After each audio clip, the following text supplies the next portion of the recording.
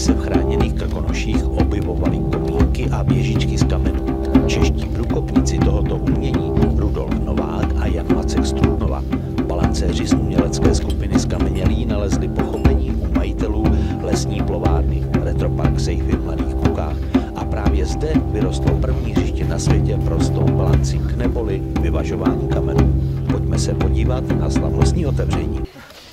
Tady vítám na slavnostním otevření relaxačního prostoru pro stone balancing. Je to první hřiště na světě svýho druhu, tak jsme moc rádi, že jste nás přišli podpořit. Uh, od svého projektu jsme my dva tady s Rudou, to je Ruda Novák, řečený Vajpa, já se jmenuji Honza Macek. Rád bych pozval Ondru Sirvátku za areál někde, tady je. Super. A ještě asi paní starostku. My teď bychom rádi poděkovali lidem, kteří nám trošku pomohli s tím, protože jsme neměli budget velký, tak jsme to lepili z různých dárků. Samozřejmě děkujeme uh, panu Středovátkovi a vlastně uh, celé jeho rodině, že nám uh, poskytli ten prostor, že jsme to tady mohli udělat. A, uh, a děkuju tobě, že jsi to vlastně skoro celý postavil sám. ne, on tady fakt hodně máknul a, a moc se mi to líbí. No. A já musím říct, že mě chlapi hnedka na začátku hrozně moc dostali svým nadšením, a svým záměrem. A v podstatě mě hned na začátku popsali tu vizi, jak by to mělo vypadat. Teď všichni vidíte, jak to je krásný. A na co oni mě vlastně tenkrát v podstatě jako udělali, byla ten přístup k té přírodě, ta ochrana. Jsme tady v Krkonožském národním parku a nám se to hrozně moc líbilo, protože se jako v rámci tady té lokality a to, že jsme v Krkonožském národním parku, tak se jako areál snažíme chovat hezky k té přírodě.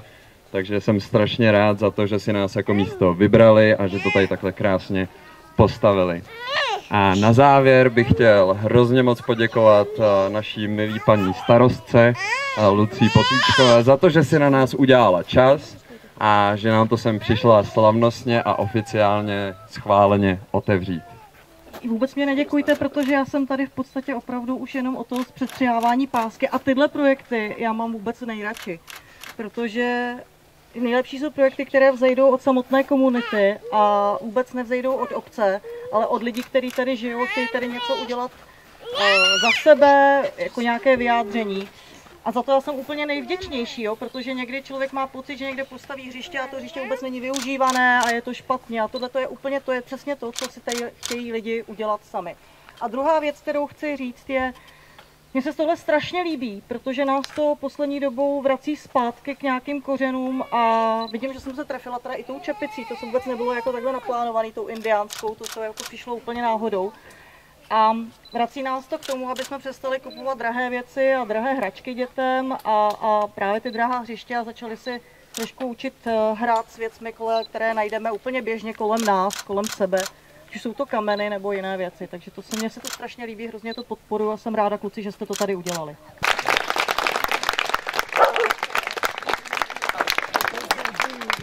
Funguje to, funguje to, funguje to. Jo!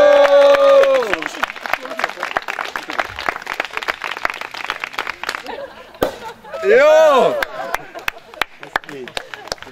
Myšlenka vznikla tak, že stone balancing prožívá boom teďka na světě a máme velký problém s tím, že lidé se snaží nebo vidí někde nějakou skulpturu a snaží se balancovat všude.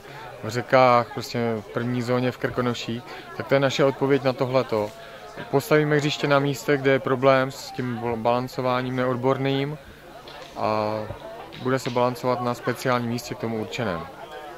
Eh, tak já bych eh, doporučil eh, teďka už nechodit k řece, neskoušet to u řeky, jo, ale zkusit to tady.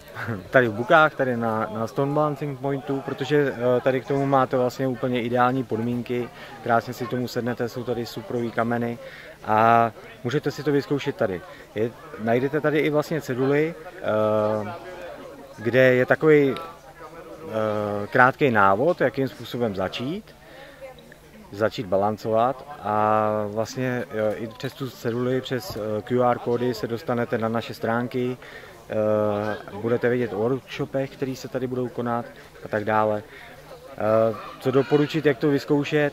Přijít, vyzkoušet si prostě postavit kámen na špičku, což je jednoduchý a určitě vlastně, když si to přečtete na té ceduli, tak, tak to zjistíte, jak to udělat. Stone balancing přivedl do širšího uměleckého podvědomí v 70. letech eh, anglický nebo skotský Lentartista Andy Goldsforty začal vrstvit kameny od největšího po nejmenší, vozil to do galerií nebo fotil to v přírodě.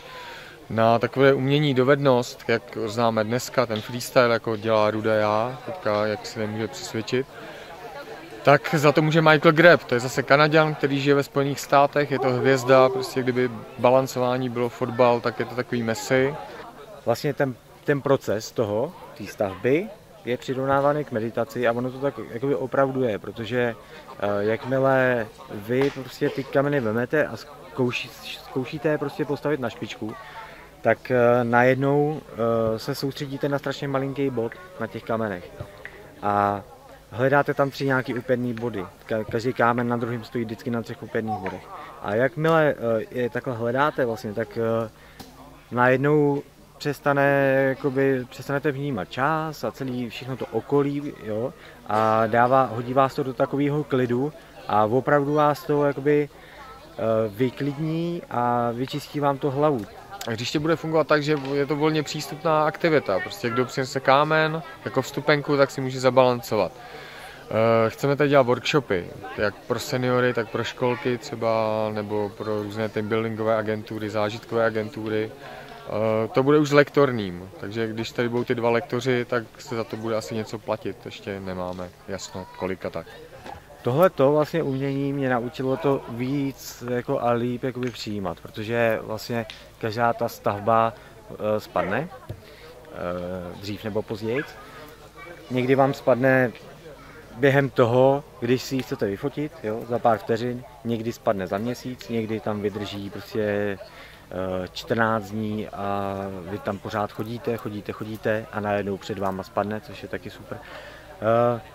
Pomývost, no, to je to prostě přirozenost. A eh, každopádně foťte ty stavby, posílá, posílejte nám fotky, protože já je taky fotím, jsem rád prostě, že mám z toho fotku jo, a na těch fotkách si dávám záležet. A to je vlastně jediný, co prostě vám potom zbyde. A ještě ten dobrý pocit, že, že jste že jste to dali, že jste prostě tu stavbu postavili. Uh, opravdu uh, to s váma hne prostě, jo. když postavíte kámen na špičku, tak najednou prostě získáte takový nával zvláštní energie a tak tu si odnášíte taky. Zkuste se obrátit na naši facebookovou stránku lentarstoneBalancing.cz na Facebooku to je, nebo ať nás kontaktují přes tady Retropark Safety, to bude asi nejsnadnější a my už tady od jara budeme asi ještě ze sníh.